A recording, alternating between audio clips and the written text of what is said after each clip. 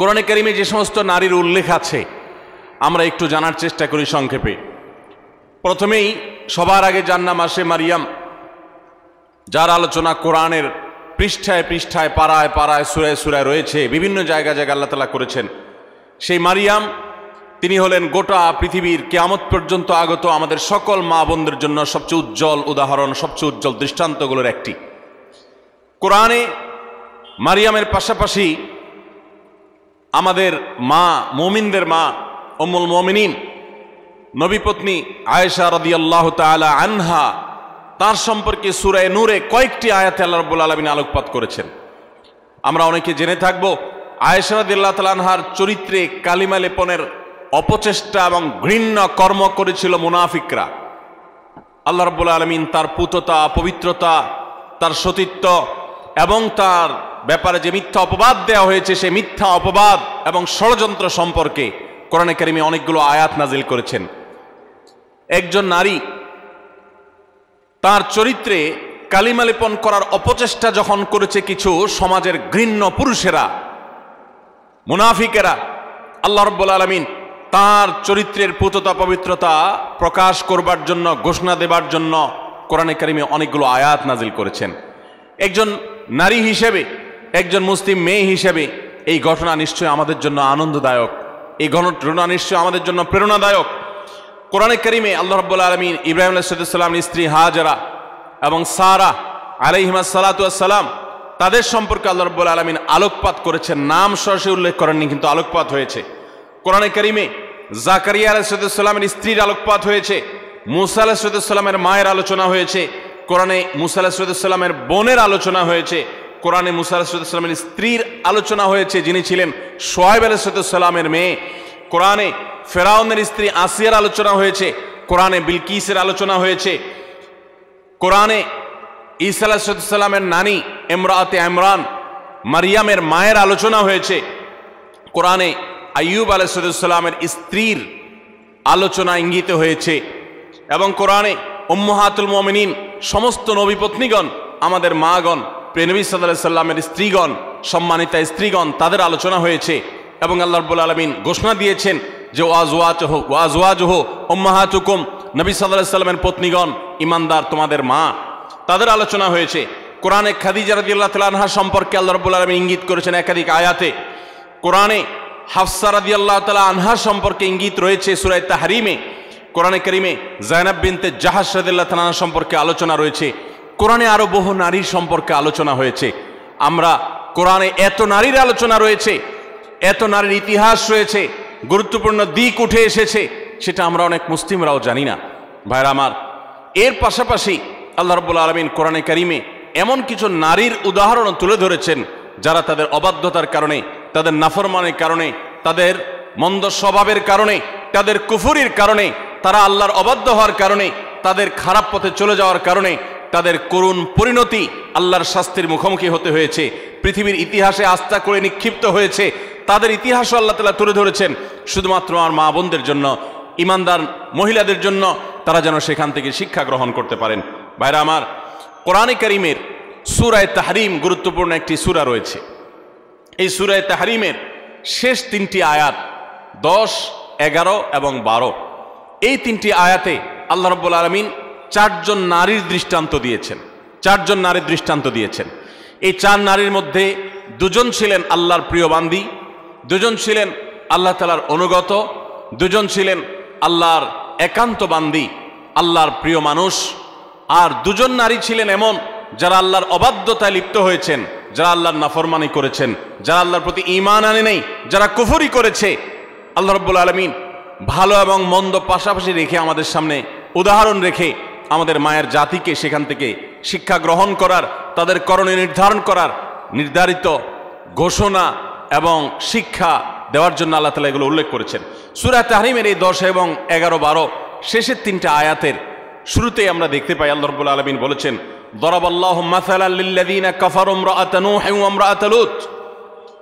যারা কুফরি করেছে পৃথিবীতে, আল্লাহর প্রতি অবাধ্য হয়েছে, ইতিহাসের আস্থা করে নিক্ষিপ্ত হয়েছে তাদের নাম নেয়ার মানুষও আজ পৃথিবীতে নাই। তাদের নাম উল্লেখ করা হলে সেটা ঘৃণা ভরে উল্লেখ করা হয়। করুণ পরিণতির মুখোমুখি তারা হয়েছে। আল্লাহর আজাব তাদের উভয়কে দুনিয়াতে ধ্বংস করেছে। সরাসরি আসমানে আজাব তাদেরকে স্পর্শ করেছে। এবং সেই আজাবের সাক্ষী এখনও রয়েছে পৃথিবীতে। রেডসি তার সাক্ষী। পৃথিবীতে আল্লাহ রব্বুল আলমিন এখনও পর্যন্ত সেই আজাবের আলামত রেখে দিয়েছেন। এবং কোরআনে আল্লাহ ঘোষণা করেছেন, আল্লাহর আজাবে ধ্বংস হওয়া জাতিদের জনপদগুলো ভ্রমণ করে তোমরা দেখো এবং শিক্ষা গ্রহণ করো। আমার মায়েরা, আমার বোনেরা, আল্লাহ রব্বুল আলমিন সেজন দুজন, সেরকম দুজন নারীর কথা বলেছেন। একজন হলেন নূ আলাইসালামের স্ত্রী, আরেকজন ছিলেন লুত আলাইসালামের স্ত্রী। আল্লাহ তালা বলছেন, কানাতা তাহতা আবদাইন তারা দুজন নারী। অবাক করা বিষয় হলো, তারা আল্লাহর নাফরমান ছিল, বেঈমান ছিল কুফরিতে লিপ্ত ছিল, আল্লাহর প্রতি ইমান আনে নাই, অথচ তারা দুজন নবীর স্ত্রী ছিলেন। নবীর ঘরে থেকেও তারা ইমানদার হতে পারে নাই। এখান থেকে বোঝা যায় যে আমাদের সমাজে বহু আলেমের মেয়ে, বহু নেককার মানুষের মেয়ে, তাদের পরিবারের মেয়ে হয়ে অনেকে গর্ব করেন যে আমরা অমুক বংশের। এমনকি ছেলেদের কথা এই কথা, ছেলেদের বেলাও এই কথা প্রযোজ্য যে কোনো বংশ পরিচয় দিয়ে আল্লাহর কাছে কেউ কোনো মর্যাদা পাবে না কেয়ামতের দিন। আল্লাহর কাছে মর্যাদা পাবে বান্দার কর্ম দ্বারায়, তার বিশ্বাস দ্বারায়, তার আমল দ্বারায়। ইন্না আক্রমাকুম আইন্দাল্লাহ আতকাকুম। আমাদের মধ্যে কে বেশি মুত্তাকি আল্লাহ সেটা দেখবেন। একজন সাধারণ দিনমজুর, একজন সাধারণ রিক্সা চালকের মেয়ে আপনি, তার স্ত্রী আপনি, একজন সাধারণ মানুষের বোন আপনি, একজন সাধারণ মানুষের পরিবারের সদস্য আপনি। আপনি যদি আল্লাহ বিরু হন, আপনি যদি মোত্তাকি হন আপনি যদি গুনাহ পরিহার করেন, হারাম পরিত্যাগ করেন, খারাপ বিষয় পরিহার করেন, আল্লাহর কাছে আপনি সবচেয়ে শ্রেষ্ঠ মানুষ সবচেয়ে উত্তম মানুষ, সবচেয়ে কেয়ামতর ময়দানের ভিআইপি মানুষ হতে পারবেন।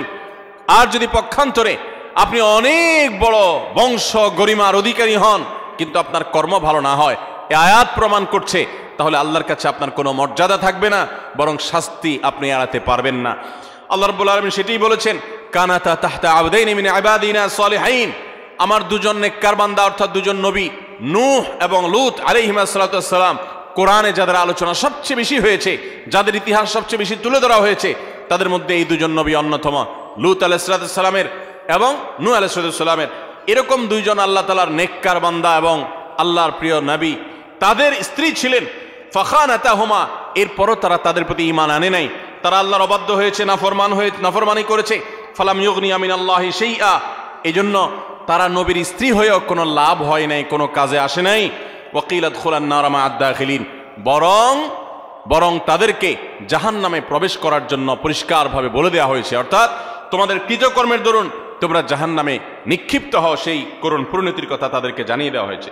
ঠিক এর পাশাপাশি আল্লাহ রব্বুল আলমিন, আল্লাহ রব্বুল আলমিন দুজন ভালো নারীর দৃষ্টান্ত দিয়েছেন পরবর্তী দুটি আয়াতে।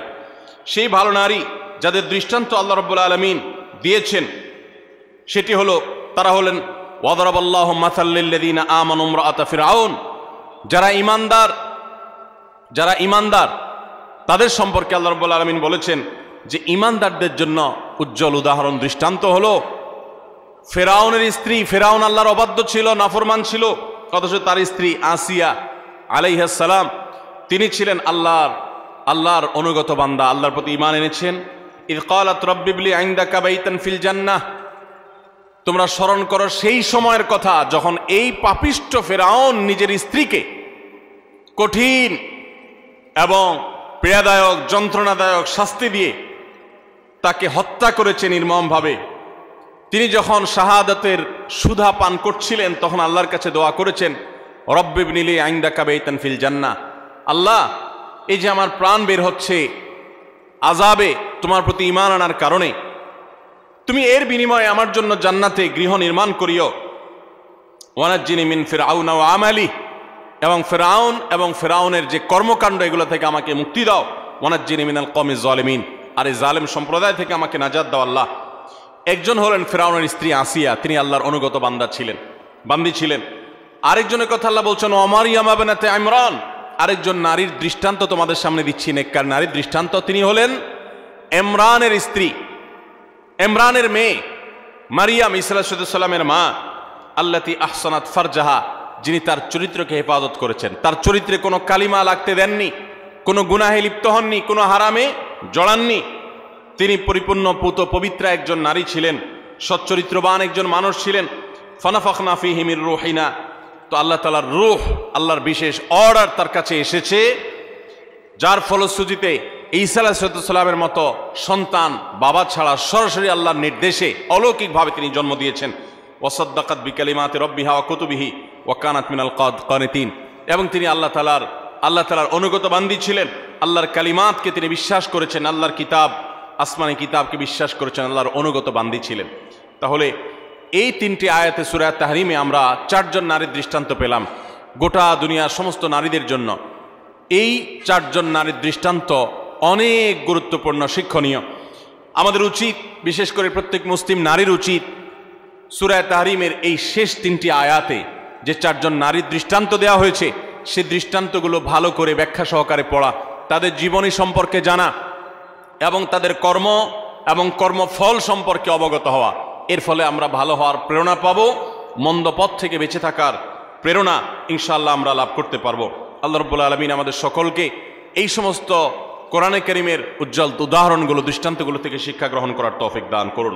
আমাদের মা বোনরা অনেকে কোরআনে করিম সহি করে পড়তেও পারেন না, আবার অনেকে পড়তে পারেন, কিন্তু তারা কোরআনে করিমের অর্থ বোঝেন না, ব্যাখ্যা জানেন না, জানার আগ্রহ নেই, প্রচেষ্টা নেই।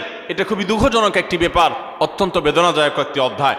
কোরআন আল্লাহ তালা দিয়েছেন, আমার বোন, আপনাকে লক্ষ্য করে আল্লাহ তালা উদাহরণ দিয়েছেন, আপনার বয়স ত্রিশ, পঁয়ত্রিশ, চল্লিশ হয়ে গেছে, অথচ আপনি একটি বারের জন্য সেটা খুলে দেখার, পড়ে দেখার প্রয়োজনীয়তা অনুভব করেন নাই, আপনি এটিকে জানার ফুরসতটুকু আপনার জীবনে পান নাই, কেয়ামতের ময়দানে কি নিয়ে আল্লাহর সামনে দাঁড়াবেন, কোন মুখে আল্লাহর কাছে জান্নাত আশা করবেন, এজন্য আমি আবারও আপনাদেরকে উদাত্ত আহ্বান করতে চাই, আমার মা বোনেরা, আপনারা সুরায় তাহারিমের শেষ তিনটি আয়াত আরও নারীদের সংশ্লিষ্ট যে সমস্ত বিষয় আসো রয়েছে কোরআনে, এগুলো আপনারা জানার চেষ্টা করবেন। নবী সাল্লাহ আসলামের হাদিসে যা বলা হয়েছে সেগুলো জানার চেষ্টা করবেন। আল্লাহ তালা আমাদের সকলকে ইমানদার আল্লাহর অনুগত যে সমস্ত বান্দিরা ছিলেন, আমাদের মা বোনদেরকে তাদের অনুসরণ অনুকরণ করার তফিক দান করুন। এবং যারা আল্লাহর নাফরমানিতে লিপ্ত হয়েছে, অবাধ্যতা লিপ্ত হয়েছে, তাদের জীবনী, তাদের কর্ম এবং কর্মফল থেকে শিক্ষা গ্রহণ করে, আল্লাহর নাফরমানি থেকে, হারাম কাজ থেকে, অন্যায়, অশ্লীলতা থেকে আল্লাহ তালা আমাদেরকে বেঁচে থাকার তৌফিক দান করুন। ভাইরা আমার, কোরআনে করিমের নারীদের যে আলোচনা রয়েছে, শুধু কোরআনেই নেই, নবী সাল্লাহ সাল্লামের হাদিসেও আমরা দেখতে পারি যে নারীদের জন্য কত আলোচনা রয়েছে। আমরা কোরআন এবং হাদিসে নারীদের এমন এগারোটি বিশেষ বৈশিষ্ট্যের কথা উল্লেখ করতে চাই আজ। যে বৈশিষ্ট্যের কথা একজন মুসলিম নারী হিসাবে গর্বিত হওয়ার জন্য যথেষ্ট। আপনি নারী হিসাবে জন্ম লাভ করার জন্য আনন্দিত হতে হলে এই এগারোটি বৈশিষ্ট্য এটার দিকে দেখাটাই যথেষ্ট। নারী জন্মের আনন্দ আপনি অনুভব করবেন শুধুমাত্র এই এগারোটি পয়েন্ট আপনি জানতে পারলে। আমরা অনেক মা বোনরা আছি, তারা জানি না। আমি আবারও বলছি, নারী অধিকারের নামে, নারী মুক্তির নামে, নারী স্বাধীনতার নামে, নানা মুখরোচক স্লোগানের নামে অনেক মুসলিম বোনদেরকে, মুসলিম মেয়েদেরকে আজ ভুল পথে পরিচালিত করা হচ্ছে। যারা পরিচালিত করছে, তাদের সে সমস্ত কথায় পা দিয়ে যারা ইতোমধ্যে আল্লাহর অবাধ্যতায় লিপ্ত হয়েছেন, নাফরমানিতে লিপ্ত হয়েছেন, গুনাহের জগতে পা দিয়েছেন, তারা একটা পর্যায়ে তাদের জীবন ধ্বংস হয়ে যাওয়া, তাদের জীবনে হারিয়ে যাওয়া সম্পদ সম্পর্কে তাদের অনুভূতি উপলব্ধি জাগ্রত হয়েছে এবং তারা ফিরে এসেছেন। বিশেষ করে পশ্চিমা দুনিয়াতে আমরা তাকালে দেখতে পাই যে পশ্চিমা দুনিয়াতে অহরহ মুসলিম মেয়েরা, অমুসলিম মেয়েরা তারা দলে দলে ইসলামে আসছে। এবং সে সমস্ত দেশগুলোতে সবচেয়েতে বেশি ইসলাম গ্রহণ করছে নারীরা, পুরুষদের তুলনায় বেশি ইসলাম গ্রহণ করছে তারা। তার কারণ, মা বোনরা বুঝতে পারছেন, তারা দেখতে পাচ্ছেন সেখানে যে কীভাবে তাদেরকে ভুল পথে পরিচালিত করা হয়েছে। ইসলামের সুমহান আদর্শ তাদেরকে কত বেশি সম্মানিত করেছে। আসুন আমরা জেনে নেই, নারী জন্মের আনন্দ হতে পারে এরকম এগারোটি পয়েন্ট কি আছে করোনা এবং হাদিসে? যে বৈশিষ্ট্যগুলো একজন মুসলিম নারী হিসাবে আপনাকে গর্বিত করবে, আপনাকে আনন্দিত করবে, আপনাকে অনুপ্রাণিত করবে, আপনাকে উৎসাহিত করবে, আপনাকে আল্লাহর অনুগত বান্দি হতে সাহায্য করবে। নাম্বার এক, আমরা অনেকেই জানি হয়তো, আবার অনেকের অজানাও থাকতে পারে, যে ইসলাম সর্বপ্রথম গ্রহণ করেছেন একজন নারী। আমাদের প্রিয়নবী সাল্লাহ সাল্লামের প্রতি আল্লাহ তালা যখন ওহি প্রেরণ করলেন তার সেই ওহির প্রতি বিশ্বাস করেছেন সর্বপ্রথম একজন নারী। তার নাম কি? খাদিজা রাদি আল্লাহ তালা আনহা। কোন পুরুষ প্রেনবী সাল্লাহ সাল্লামের প্রতি ইমান আনেন নাই আগে। সবার আগে নারীরা ইমান এনেছেন, খাদিজা আল্লাহ তালা আনহা। ইসলামের প্রথম মুসলিম সদস্য নারী, কোনো পুরুষ না। দ্বিতীয়ত, ইসলামের প্রথম শহীদ হলেন একজন নারী, সুমাইয়া রাদি আল্লাহ তালা আনহা। ইসলামের জন্য যিনি নিজের জীবনকে উৎসর্গ করেছেন ইসলামের জন্য জীবন উৎসর্গ করার মতো এরকম গৌরব, এরকম মর্যাদার অধিকারী হয়েছেন একজন নারী, সুমাইয়া রাদি আল্লাহ আনহা। ভাইরা আমার, আমাদের মুসলিম মেয়েদের আনন্দিত হওয়ার জন্য, তাদের আল্লাহর কাছে কৃতজ্ঞতা প্রকাশ করবার জন্য এই একটি পয়েন্ট যথেষ্ট, যে ইসলামের জন্য পৃথিবীতে যুগ যুগ ধরে পুরুষরাই সবচেয়ে বেশি তাদের আত্মত্যাগ করেছেন, শাহাদাত বরণ করেছেন, জীবন দিয়েছেন। কিন্তু এর সূচনা করেছেন একজন নারী। এর শুরুটা করেছেন একজন নারী। তিনি ছিলেন সোমাইয়া আল্লাহ আনহা। এমন একজন সাহাবি, নির্মমভাবে তাকে শাহাদতের পেয়ালা পান করতে হয়েছে। আল্লাহর দিনের জন্য তিনি জীবন দিয়েছেন। আমার মা বোনরা, একজন নারী, তিনি শাহাদাতের এই পথ সর্বপ্রথম দেখিয়েছেন। প্রথম পেয়ালা তিনি পান করেছেন শাহাদাতের। এটি কি আমাদের মা বোনদের গর্বের জন্য যথেষ্ট নয়? তৃতীয়ত প্রেনবী সাল্লাহ আলি সাল্লাম তার জীবনের একেবারে শেষের দিকে এসে অত্যন্ত হৃদয়গ্রাহী যে ওসিয়ত ছিল তার, উপদেশ ছিল, সেই উপদেশের মধ্যে একটি ছিল ফাস্তাউসবিনিসায় খায়রা। ভাইরা আমার, মা বাবা, মুরব্বীরা, প্রিয়জনেরা, তারা যখন মৃত্যুর মুখোমুখি হন, তারা যখন জীবনের শেষ প্রান্তে এসে উপনীত হন, তখন তারা তাদের একান্ত কাছের লোকদেরকে ডেনে ওসি, ডেকে ওসিয়ত করেন, উপদেশ দেন। তাদেরকে ডেকে এনে নসিহত করেন। জীবনের শেষ মুহূর্তে যাওয়ার সময় ছেলে মেয়েদের দিকে তাকিয়ে তাদের মাথায় হাত বুলিয়ে অত্যন্ত স্নেহ, পরম মমতার সাথে যে উপদেশ দেওয়া হয়, সেটার গুরুত্ব অপরিসীম। প্রেনবী সাল্লা সাল্লামও ঠিক তার জীবনের একেবারে শেষে এসে তিনি কিন্তু ঐতিহাসিক ভাষণে তিনি মেয়েদের প্রতি সদ্ব্যবহার করার জন্য। তাদের ব্যাপারে নবী সাল্লাহ সাল্লাম থেকে কল্যাণের উপদেশ গ্রহণ করবার জন্য তিনি নির্দেশ দিয়ে গেছেন। ফাস্তাউসবিনিসা এ হে দুনিয়ার মানুষ, তোমরা মেয়েদের ব্যাপারে, কল্যাণের আচরণ, ভালো আচরণ করার ব্যাপারে আমার কাছ থেকে উপদেশ গ্রহণ করো। আমি তোমাদের ওসিয়ত করে গেলাম।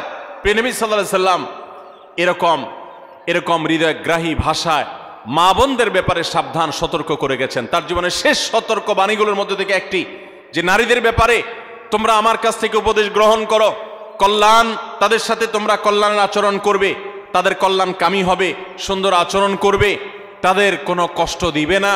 অর্থাৎ এই মর্মে আমি তোমাদেরকে ওসিয়ত করে যাচ্ছি, আমার এই ওসিয়তকে তোমরা মেনে চলবে। মায়েদের আনন্দের একটা বিষয় এটি। তাদের গর্ব করার মতো একটি বিষয় এটি যে প্রিয় নবী সাল্লা সাল্লাম জীবনের শেষ ওসিয়তগুলোর মধ্যে থেকে একটি ছিল আমাদের ব্যাপারে আমাদের ব্যাপারে যেন সবাই সজাগ থাকে, সুন্দর দৃষ্টি রাখে। নাম্বার চার, আমরা জানি যে কোরআনে করিমে আল্লাহ রব্বুল আলমিন নারীদের সুরা নামে সুরা রেখেছেন। পুরুষদের সুরা এরকম নামে, অর্থাৎ পুরুষদের সংশ্লিষ্ট সুরা বলতে আলাদা কোনো সুরা রাখেন নাই। শুধু তাই নয়, কোরআন করিমের সবচেয়ে বড় দীর্ঘ আয়তনের গুরুত্বপূর্ণ সুরা হলো সুরাতুন নিসা। এই সুরাতুন নিসা আল্লাহ তালা নারীদের নামে নামকরণ করেছেন। সেখানে নারীদের সমস্ত অধিকারগুলো, তাদের বিধিবিধানগুলো, তাদের মর্যাদা, তাদের করণীয়, তাদের জন্য মোটিভেশন আল্লাহ তালা সেখানে রেখেছেন। শুধু সুরায় নিসাই নয়, কোরআনে করিমে আল্লাহ রব্বুল আলমিন সুরায় নিসার পাশে সুরায় তাহারিম সুরায় তালাক সুরায় মুজাদালা অনেকগুলো সুরা নারীদের জন্য, নারীদের বিধিবিধান সংশ্লিষ্ট বিষয়গুলোর জন্য তারা নাজিল করেছেন। এগুলো এক একটা, দুই পৃষ্ঠা, চার পৃষ্ঠার সুরা, আর সুরা নিসা তো বহু পৃষ্ঠা সম্বলিত সুরা। কোরআনে কারিমে পঁচিশ জন নবী রাসুলের আলোচনা যেরকম রয়েছে, ঠিক একইভাবে বিশ পঁচিশ জন মহিয়সী নারীর আলোচনা কোরআনে রয়েছে।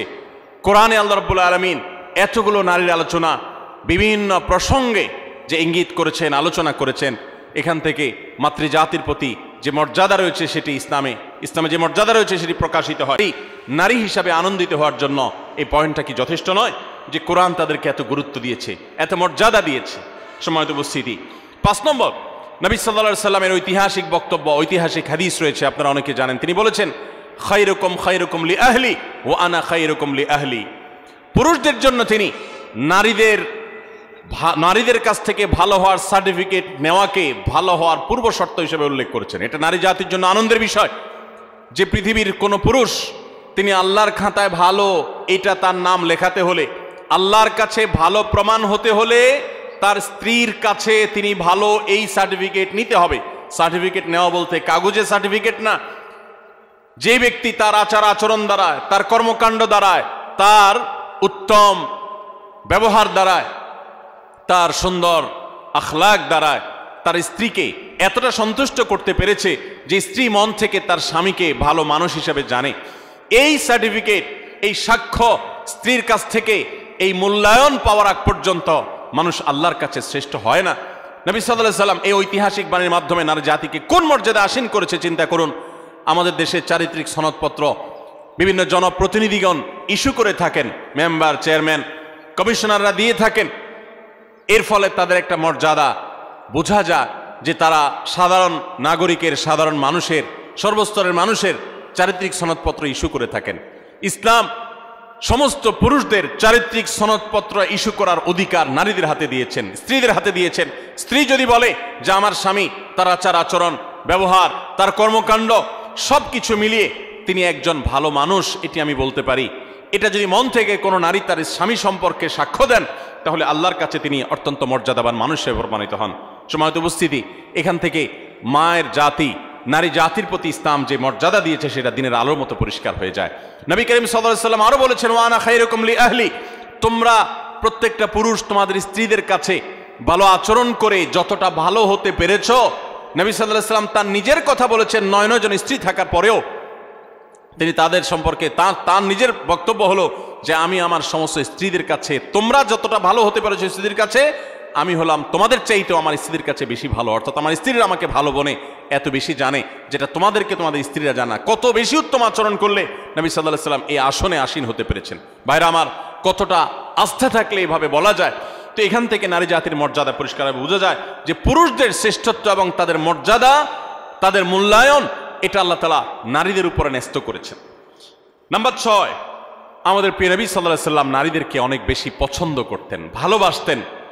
শ্রদ্ধা করতেন। এর মানে হলো, আপনারা জানেন, মা এবং বাবা উভয়ের মর্যাদা বর্ণনা করতে গিয়ে নবী সাল্লাহ সাল্লাম কার মর্যাদা বেশি বর্ণনা করেছেন, বাবার না মায়ের? মায়ের। তাহলে এখানে নারীকে নবী সাল্লাহ সাল্লাম অগ্রাধিকার দিয়েছেন। এবং নবী সাল্লাহ সাল্লামের কাছে যখন সাহাবি জিজ্ঞাসা করেছেন ইয়ারসুল্লাহ আবার রুমান আমি কার সাথে বেশি সদাচরণ করব? নবী সাল্লাহ সাল্লাম বলেছেন ওম্মাক তোমার মায়ের সাথে। এরপরে আবার সাহাবি জিজ্ঞাসা করলেন, এরপর তিনি বলেছেন, এরপরও তোমার মায়ের সাথে। এরপর জিজ্ঞাসা করলেন, আবারও সাহাবি, বুঝলাম, এরপর কার সাথে করব? নবী সাল্লাহ সাল্লাম বলেন, এবারও বলেন তোমার মায়ের সাথে। তারপর যখন সাহাবি জিজ্ঞাসা করলেন, চতুর্থবার তখন বললেন, তোমার বাবার সাথে। তার মানে তিনটা পুরস্কার যদি থাকে, gold medal, bronze medal, silver medal এই সব মেডেল পুরস্কারগুলো, একবারে প্রথম, দ্বিতীয়, তৃতীয় সব পুরস্কারগুলো নবী সাল্লাহ ইসলাম দিয়েছেন মাকে। আর চার নম্বর সান্ত্বনা পুরস্কার দিয়েছেন বাবাকে। তাহলে এখানে মায়ের মর্যাদা বেশি দেওয়া হয়েছে না বাবার মর্যাদা বেশি দেওয়া হয়েছে? দিনের আলোর মতো পুরস্কার। একজন মুসলিম নারীর জন্য কি এটা আনন্দের বিষয় নয়? প্রেনবী সাল্লাহ সাল্লাম মেয়েদেরকে কতটা অগ্রাধিকার দিতেন দেখেন। তিনি বলেছেন, আমি মেয়েদেরকে বেশি ভালোবাসি। এর মানে মা এবং বাবার মধ্যে যখন কম্পেয়ার করা হয়, তুলনা করা হয়, তখন মাকে তিনি বেশি পছন্দ করতেন, বাবার তুলনায়। এবং ভাই এবং বোনের মধ্যে যখন কম্পেয়ার করা হয়, তখন বোনের প্রতি বেশি। এবং ছেলে এবং মেয়ের মধ্যে যখন কম্পেয়ার করা হয়, তখন নবী আলিসাল্লাম মেয়েদের প্রতি টান, মেয়ের প্রতি টান বেশি ছিল। এই ছিল নবী সাল্লা সাল্লামের মেয়ে জাতির প্রতি, নারী জাতির প্রতি, মাতৃজাতির প্রতি তার মহানুভবতা, তার ভালোবাসা, তার আন্তরিকতা, তার স্নেহ মমতা তাদেরকে এতটা শ্রদ্ধা তিনি করতেন, এতটা সম্মান তিনি করতেন। আমরা অনেক পুরুষ আছি, আমাদের মা বোনদেরকে তুচ্ছতা ছিল্ল করে কথা বলি। তাদেরকে অপমান করে কথা বলি, আমাদের আল্লাহকে ভয় করা উচিত। তারা ভুল করলে সেটা উত্তম উপায়ে সংশোধন করা উচিত, ব্যবহার খারাপ করা উচিত নয়। যাই হোক, তাহলে ছয় নম্বরে আমরা জানলাম যে মাতৃজাতির আনন্দের বিষয় হলো, নারী জাতির আনন্দের বিষয় হলো, মুসলিম নারীর আনন্দের বিষয় হলো, তার মর্যাদার বিষয় হলো যে নবী সাল্লাহ সাল্লাম তাদেরকে ভালোবাসতেন। পুরুষদের তুলনায় সবসময় নারীদেরকে তিনি অগ্রাধিকার দিতেন, বেশি পছন্দ করতেন, ভালোবাসতেন। নাম্বার সাত, জান্নাত নারীদের জন্য আল্লাহ তারা সবচেয়ে সহজ করেছেন। পুরুষদের তুলনায় নারীদের জন্য জান্নাত অনেক সহজ করা হয়েছে। একজন পুরুষ তাকে জান্নাতে যেতে হলে তাকে হালাল উপার্জন করতে হয়। আর ইসলাম উপার্জনের কোনো দায় দায়িত্ব মেয়েদের উপরে চাপান নাই। যতদিন বিয়ে না হবে, তিনি বাবার দায়িত্বে থাকবেন। যখন বিয়ে হয়ে যাবে, স্বামীর দায়িত্বে চলে যাবেন, স্বামী মারা যাবে, ছেলেদের দায়িত্বে চলে যাবেন, ভাইদের দায়িত্বে চলে যাবেন। কিন্তু নারী তাকে তার নিজের ভরণ পোষণের জন্য ইসলাম বলে নাই স্ট্রাগল করতে। বরং তার জন্য পুরুষরা স্ট্রাগল করতে বাধ্য। আর পুরুষরা যখন স্ট্রাগল করতে যায়, উপার্জন করতে যায়, কামাই রোজগার করতে যায় তখন তার হালাল হারাম বাজ বিচার করতে হয়। কাজটা কিন্তু সহজ না। হারাম থেকে বেঁচে থেকে আবার পয়সা করে, কামাই করে এনে পরিবারের ভরণ পোষণের ব্যবস্থা করা, এটা খুব সহজ কাজ না। এই জন্য পুরুষকে জান্নাতে যেতে হলে শুধু পাচক্ত নামাজ পড়লে, রমজান রোজা রাখলে এবং মৌলিক কিছু কাজ করলেই যথেষ্ট হয় না, তাকে হালাল উপার্জন করতে হয়। হারাম থেকে বাঁচতে হয়। নারীর জন্য এই সমস্ত হ্যাসেল নাই। তাদের জন্য অনেক সহজ। নবী করিম সাল্লা সাল্লাম বলেছেন, ইদা সাল্লাতিল মার আতু খামসাহা। ওয়াসামাত শাহরাহা ওয়া আতাআত জাওজাহা ওয়া হাফিজাত ফারজাহা কোন নারী যখন চারটি কাজ করে পাঁচ ওয়াক্ত নামাজ যখন পড়ে, রমজানের রোজা যখন ঠিকমতো রাখে এবং স্বামীর আনুগত্য, স্বামী যদি অন্যায় কোনো কথা না বলে তাহলে তাকে মেনে চলে, মান্য করে, শ্রদ্ধা করে, অভিভাবক হিসাবে তার সিদ্ধান্তকে মেনে চলে এবং নিজের ইজ্জত, আব্রুর হেফাজত করে, কোনোভাবে চরিত্রহীন নারীদের কাতারে সামিল হয় না, গুনাহ করে না। সেটা ইমোতে হোক, সেটা সোশ্যাল মিডিয়াতে হোক, মেসেঞ্জারে হোক, ফেসবুকে হোক, ইউটিউবে হোক, অনলাইনে হোক, অফলাইনে হোক বিবাহ বহির্ভূত সম্পর্কের মাধ্যমে হোক, কোনোভাবে নিজের চরিত্রকে নষ্ট করে না। এই নারী আল্লাহ রব্বুল আলমিন তাকে জান্নাতের যে কোনো দুয়ার দিয়ে প্রবেশ করার সুযোগ দান করবে ভাইরা আমার, এই যে মর্যাদা দেওয়া হলো জান্নাতে প্রবেশ করা তাদের জন্য সহজ করে দেওয়া হয়েছে, চারটি আমল তাদেরকে জান্নাতে যেতে সাহায্য করবে। আর পুরুষ পুরুষ তাকে অনেক স্ট্রাগল করে তারপরে তাকে জান্নাতে যেতে হয়। এটা নারী জাতির জন্য আনন্দের বিষয়। নাম্বার আট, মেয়েরা যদি হজ করে, তাহলে তাদের সেই হজ জেহাদের সমতুল্য। পুরুষ হজ করলে হজের সোয়াব পাবে বাস এটুকু। একজন নারী যখন হজ করেন, তখন তিনি পুরুষদের মতো হজের সোয়াব তো পাবেনই। পাশাপাশি ইসলাম তাকে জেহাদে সামিল হয়ে পুরুষ যেরকম মর্যাদা পায়, হজ করার মাধ্যমে নারীকে সেই মর্যাদা দেয়। হাজ্জহন্না জিহাদ। নবী সাল্লাহ সাল্লাম তাদের নারীদের হজকে জেহাদের সাথে তুলনা করেছেন। এটা তাদের মর্যাদার ব্যাপার। এটা তাদের জন্য স্পেশাল ঠিক একইভাবে, নম্বর নয়, নারীরা যদি কোনো সন্তানদেরকে সুন্দরভাবে জন্মদানের পর লালন পালন করে, বিশেষ করে জন্মদান করতে গিয়ে যদি কোনো নারী মৃত্যুবরণ করেন, তাহলে তাকে শাহাদাতের মর্যাদা দেওয়ার কথা বলা হয়েছে। এবং তারা যদি নিজেদের সন্তানকে সুন্দরভাবে লালন পালন করেন তার জন্য জান্নাতের গ্যারান্টির কথা বলা হয়েছে। সন্তান লালন পালন করা আলাদা ইবাদত, আলাদা মর্যাদার বিষয়। সন্তান জন্ম দেওয়া আলাদা ইবাদতের বিষয় তাদের জন্য। নাম্বার দশ, যদি দুনিয়ার কোনো মানুষ, দুনিয়ার কোনো মানুষ, কোনো পুরুষ, যদি কোনো নারী জন্ম দেয় এবং কোনো মেয়ে জন্ম দেওয়ার পর সে মেয়েকে যদি উত্তমভাবে লালন পালন করে, তাকে সুপাত্রস্থ করে তার ভরণ পোষণ ব্যবস্থা করে, তার প্রতি সদাচরণ করে, মেয়ে হিসাবে তাকে তুচ্ছতাচ্ছিল্য না করে, ছোট না করে, তার হক নষ্ট না করে, এরকম যদি নারীদের সাথে সুন্দর আচরণ করে, তো আল্লাহ রব্বুল আলমিন ওই পুরুষদের জন্য জান্নাতের গ্যারান্টি দিয়েছে জান্নাতের গ্যারান্টি দিয়েছেন। নিরাপত্তা নিয়েছেন তিনি, নিরাপত্তা দিয়েছেন। জান্নাতের ওয়াদা করেছেন নবী সাল্লাহ সাল্লাম কথা দিয়েছেন যে পুরুষরা দুটি মেয়ে সন্তান জন্ম দিবে। এবং তাদের সাথে উত্তম আচরণ করবে, ব্যবহার করবে, তাদের হক আদায় করবে। নবী করিম সাল্লা সাল্লাম তাদের জান্নাতের জিম্মাদারে নিয়েছেন, জান্নাতের দায়িত্ব নিয়েছেন। এবং অন্য আরেকটি হাদিসে আছে, নবী সাল্লাহ সাল্লাম জান্নাতে তার সাথে থাকার সৌভাগ্য হবে বলেছেন। যদি কেউ তার দুটি বোন অথবা দুটি মেয়েকে সুন্দরভাবে, উত্তমভাবে তাদের সাথে আচার আচরণ করে, ব্যবহার করে, তাদের হক আদায় করে, কোনো ক্ষেত্রে ত্রুটি না করে, যত্ন করে তাহলে সে ব্যক্তি শুধু জান্নাতে যাবে তা নয়, নবী সাল্লাহ সাল্লামের সাথে জান্নাতে থাকতে পারে। ভাইরা আমার, কোরআন এবং হাদিসের কোথাও আমি আজও পর্যন্ত পাই নাই। এক ডজন ছেলে জন্ম দিলে, এক ডজন ছেলে জন্ম দিলে, দশটা, বারোটা ছেলে জন্ম দিলে, তাদের সাথে সুন্দর আচরণ করলে, কোরআন হাদিসে কোথাও তার জন্য ফজিলত মর্যাদা হিসাবে স্পেশাল ভাবে জান্নাতে যাওয়ার ঘোষণা নবী সাথে জান্নাতে থাকার সৌভাগ্যের কথা কোথাও ঘোষণা করা হয়েছে, এমন কোনো হাদিসের কথা আমি জানি না। এমন কোনো আয়াত কোরআনে নাই। কিন্তু দুজন মেয়েকে, দুজন বা দুজনের অধিক মেয়েকে যদি কোনো বাবা মা লালন পালন করেন, সুন্দরভাবে তাদের সাথে সদাচরণ করেন, দুর্ব্যবহার না করেন, তাদেরকে কোণঠাসা করে না রাখেন, মেয়ে হিসাবে তাদের প্রতি জোলম না করেন, তাহলে ওই ব্যক্তিদের জন্য জান্নাতের গ্যারান্টির কথা বলেছেন। তাহলে নারী জন্ম, নারী হিসাবে জন্ম লাভ করা এটা আনন্দের বিষয় মুসলমান মেয়েদের জন্য। ইসলাম তাদেরকে এত মর্যাদা দিয়েছে। ভাইরা আমার, এগারো নম্বর, নারী হিসাবে জন্ম লাভের যে আনন্দ আমাদের জন্য রয়েছে তা হলো, নবী করিম সাল্লা সাল্লাম পরিষ্কারভাবে জানিয়েছেন, মান বলিয়া মিনহাদিহিল বানাতি সেই আ যদি কোনো মেয়ে দিয়ে আল্লাহ তালা কাউকে পরীক্ষায় ফেলে দেন, অনেক বাবা আছেন না, মেয়েদের নিয়ে বিপদে আছেন? যে মেয়ে হয়েছে তার এই জন্য অনেক কথা শুনতে হয়, অনেক মহিলা আছে না এখনও? যে একটা পর একটা মেয়ে হয়, সমাজের মানুষ নানান বাজে কথা বলে মূর্খতার কারণে, অজ্ঞানতার কারণে। অনেক বাবা আছেন, মেয়ে হয়েছে এই জন্য জামাই ব্যয়সা বেন সাহেবের অনেক কটু কথা তাকে শুনতে হয়। অনেক সময় তালাক প্রাপ্তা হয়ে, মাজলুম হয়ে সে মেয়ে বাবার বাড়িতে ফিরে আসেন। তো কোনো মানুষ সে বাবা হোক, সে স্বামী হোক, সে ভাই হোক, কোনো মানুষ যদি কোনো মেয়েকে নিয়ে বিপদে পড়ে বা তার কারণে তার মুখটা একটু ছোট হয় বা পরীক্ষায় পড়ে কোনোভাবে। এবং সে যদি এরপরে ওই মেয়ের প্রতি অসদাচরণ না করে আহসানা ইলাইহীন না বরং ওই মেয়ের সাথে ভালো আচরণ করে।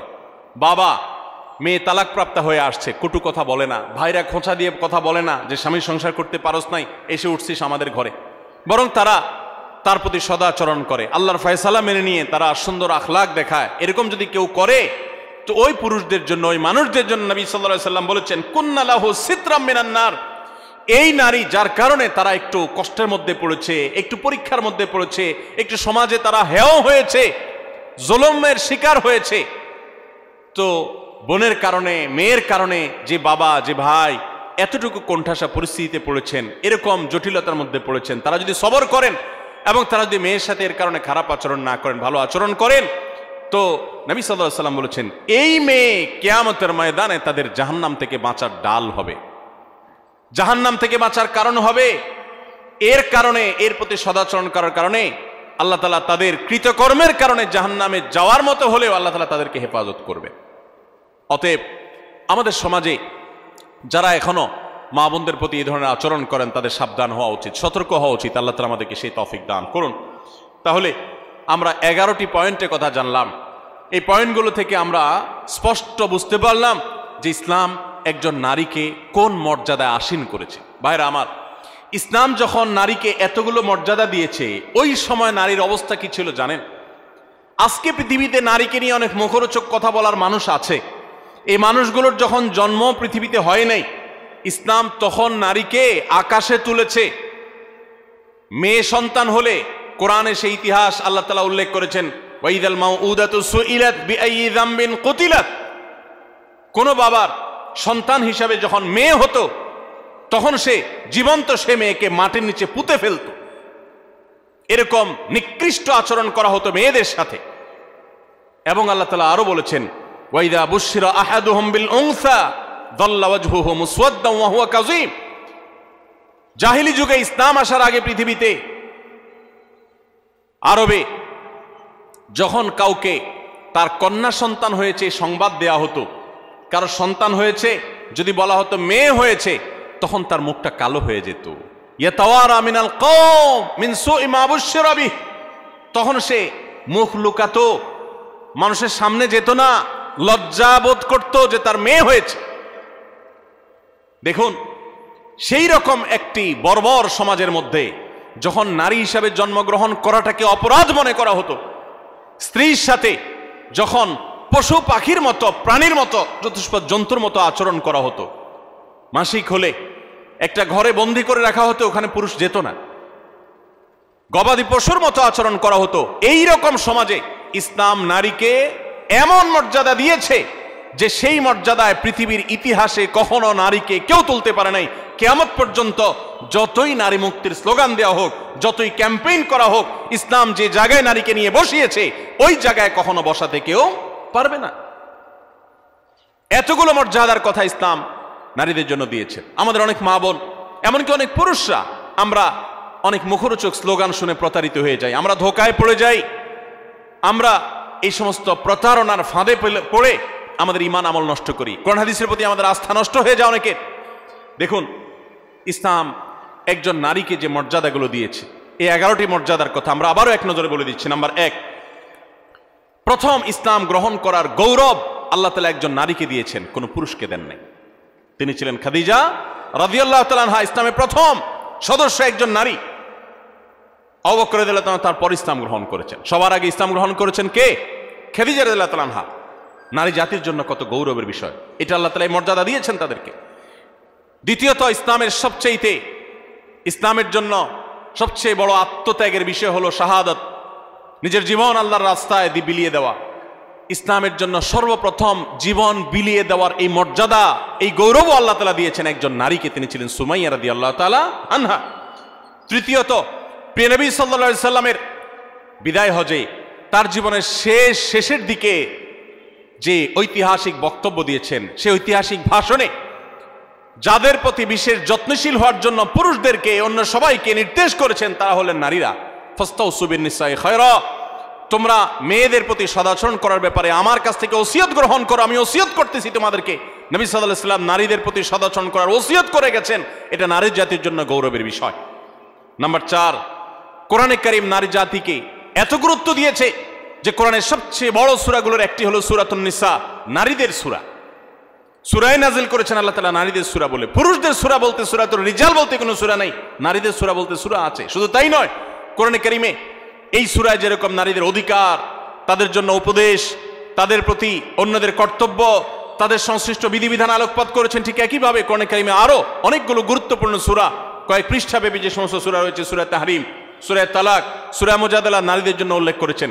কোরআনে পঁচিশ জন নবী রাসুলের যেরকম আল্লাহ তালা আলোচনা করেছেন, বিশ পঁচিশ জন মহিষী নারীর আলোচনা করেছেন, মারিয়ামের আলোচনা, আয়েশার আলোচনা, সারা হাজার আলোচনা জাকার স্ত্রীর আলোচনা, মুসা মায়ের আলোচনা, মুসা স্ত্রী ইসলামের মেয়ের আলোচনা, মুসা বোনের আলোচনা মাহাতুল মমিনের আলোচনা, নবীপত্নীদের আলোচনা, বিলকিসের আলোচনা ফেরনের স্ত্রী আসিয়ার আলোচনা এমরানের স্ত্রী, তার আলোচনা, ঈসা ইসলামের নানি, ঈসা মারিয়ামের আলোচনা এবং ইব আলাইসালামের স্ত্রীর আলোচনা এবং খাদিজ আল্লাহ তালাহা আলোচনা আয়সা আল্লাহ আলোচনা, হাফসার আলোচনা যারা বিনতে রাদিয়াল্লাহু তাআলা আনহুম আনহুন্না তাদের আলোচনা, এরকম আর অনেক নেককার মহিষের নারী আলোচনা কোরআন উল্লেখ করেছেন। এ থেকে কোরআন যে নারীদের মর্যাদা, সেটি বোঝা যায়। নাম্বার পাঁচ, নবী সাল্লাহ সাল্লাম বলেছেন, তোমাদের মধ্যে সবচেয়ে উত্তম সে, যে ব্যক্তি তার স্ত্রীর কাছে ভালো হতে পেরেছে, যার স্ত্রী তার ব্যাপারে সাক্ষ্য দেয়, যে আমার স্বামী একজন আসলে আপদমস্তক ভালো মানুষ ভেতর থেকে সাক্ষ্য যে নিতে পারে, এই মূল্যায়ন যে নিতে পারে, সেই হলো প্রকৃত অর্থে ভালো মানুষ। নারীদের কাছে পুরুষদের মর্যাদার মূল্যায়নের চাবিকাঠি এবং সুইচ নবী সাল্লাহ সাল্লাম তাদের হাতে দিয়ে দিয়েছেন। কত বড় মর্যাদার বিষয়টি তাদের জন্য। নাম্বার ছয়, নবী সাল্লাহ সাল্লাম সবসময় নারীদেরকে বেশি অগ্রাধিকার দিতেন, পুরুষের তুলনায় বেশি পছন্দ করতেন, ভালোবাসা দিতেন, স্নেহ, মমতা দিতেন। এজন্য মেয়েদের প্রতি তার ভালোবাসা ছিল অনেক বেশি। শুধু তিনি নন, ইমাম মালিক রহমতুল্লাহ বলেছেন, আল আম্বিয়া ও আবুল বানাত হলেন মেয়েদের বাবা, বেশিরভাগ নবীদেরকে আল্লাহ তালা মেয়ে সন্তান বেশি দিয়েছেন। এটা তাদের জন্য গৌরবের এবং এখান থেকে আমাদের শিক্ষার বিষয় রয়েছে। এবং নবী সাল্লাহ সাল্লাম মা এবং বাবার মধ্যে বাবাকে অগ্রাধিকার দিতেন। শিলং মেয়ের মধ্যে মেয়েদেরকে বেশি ভালোবাসতেন। এটা তার সুন্না ছিল, এটা তার অভ্যাস ছিল, তিনি বেশি পছন্দ করতেন তাদেরকে। এটাও নারী জাতির জন্য আনন্দের বিষয়। নাম্বার সাত, জান্নাত মেয়েদের জন্য যাওয়া অনেক সহজ অনেক সহজ। মেয়েরা যদি পছক্ত নামাজ পড়ে রমজান রোজা রাখে, স্বামীর আনুগত্য করে চলে, কোনো অধ্যত্ব দেখায় না এবং নিজের চরিত্রের হেফাজত করে। তাদের জন্য জান্নাতে যাওয়া সহজ হয়। পুরুষদের মধ্যে হালাল, মতো হালাল হারাম উপার মেনটেন করে, তারপর সেগুলো লক্ষ্য রেখে, তারপর উপার্জন করার মতো আর অনেক স্ট্রাগল করে তাদেরকে উপার্জন করতে হয় না। হালাল হারাম উপার্জন করতে গিয়ে পুরুষরা মানুষকে গালি দিয়ে হারাম কামাই করে, জাহান্নামে যেতে হয়, মানুষের সাথে মারামারিতে লিপ্ত হতে হয়, অনেক কঠিন পরিস্থিতির মুখোমুখি হতে হয়। এসব হ্যাসেল মেয়েদের জন্য নয়, বরং কোনো নারী তিনি যদি সন্তান জন্ম দিতে গিয়ে যদি তিনি মৃত্যুবরণ করেন, তাকে শাহাদাতের মর্যাদা দেওয়া হয়। তাদের জান্নাতে যাওয়ার পথ তুলনামূলকভাবে অনেক সুগম। নাম্বার আট, মেয়েদের হজকে আল্লাহ রবুল্লা আলমিন নবী সাল্লাহ সাল্লাম জেহাদের সাথে তুলনা করেছেন। তারা হজ করলে সেটা জেহাদের সব পাওয়া যায়। নাম্বার নয়, মেয়েদেরকে লালন পালন করলে পুরুষদের জন্য নবী সাল্লাহ সাল্লাম জান্নাতের দায়িত্ব নিয়েছেন। শুধু তাই নয়, যদি দুইজন মেয়ে, দুইজন বোনকে কেউ সুন্দরভাবে লালন পালন করে, সদাচরণ করে, তাদের প্রতি বৈষম্য না করে, ছেলেদেরকে দিল, মেয়েদেরকে দিল না, এরকম না করে বরং ছেলেদেরকে যা দেয়, মেয়েদেরকেও দেয়, তাদের প্রতি কোনো হক নষ্ট করে না, ছোট নজরে দেখে না, বৈষম্যের নজরে দেখে না। তাদের প্রতি ভালো আচরণ করে, সুশিক্ষা দেয় দিনে শিক্ষা দেয়, আল্লাহর সাথে পরিচয় করা সুপাত্রস্থ করে, কোনোভাবে তাচ্ছিল্য করে না, অবজ্ঞা করে না। এরকম যদি কোনো পুরুষ করে, নবী সাল্লাম তার জান্নাতের দায়িত্ব তো নিয়েছেন। পাশাপাশি হাদিসে এও বলা আছে যে, নবী সাল্লামের সাথে জান্নাতে থাকার সৌভাগ্য লাভ হবে ওই ব্যক্তির। নবী সাল্লামের সৌভাগ্য সাথে জান্নাত থাকার সুযোগ পাওয়া যাবে।